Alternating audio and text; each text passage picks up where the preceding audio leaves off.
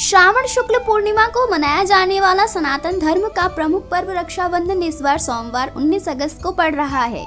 इसी दिन भद्रा से रहित काल में एक बज के चौबीस मिनट से रक्षाबंधन के विधान होंगे। भाइयों की कलाई पर बहनें स्नेह का धागा बांधेंगी। श्री काशी विद्वत परिषद के संगठन मंत्री ज्योतिषाचार्य प्रोफेसर विनय कुमार पांडे के अनुसार पूर्णिमा 18 अगस्त की रात दो बज के अठारह बजे से आरंभ होकर 19 अगस्त की मध्य रात्रि बारह बज के उनतीस बजे तक रहेगी।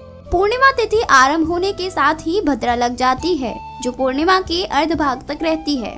इसमें रक्षाबंधन पूर्णतः शास्त्र विरुद्ध माना गया है।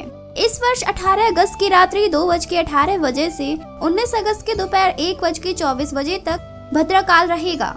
अतः 19 को भद्रा की समाप्ति के उपरांत रात्रि पर्यंत रक्षा सूत्र बांधा जा सकता है। काशी हिंदू विश्वविद्यालय के ज्योतिष विभाग में पूर्व अध्यक्ष प्रोफेसर गिरिजा शंकर शास्त्री के अनुसार, यह स्थिति काशी के लगभग सभी पंचांगों में एक जैसी है।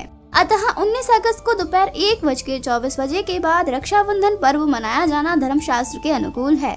श्री काशी विश्वनाथ मंदिर न्यास परिषद के अध्यक्ष ज्योतिषाचार्य प्रोफेसर नागेंद्र पांडे के अनुसार रक्षाबंधन को लेकर एक कथा है। कि सतयुग में देव दानवों में बारह वर्षों तक युद्ध चला। देवता बार बार हारते गए। देव गुरु बृहस्पति के आदेश पर इंद्राणियों ने इंद्र को रक्षा सूत्र बांधा। इसके प्रभाव से देव राजेंद्र ने दानवों का संहार किया और देवों को विजय मिली। यह तिथि श्रावण पूर्णिमा थी।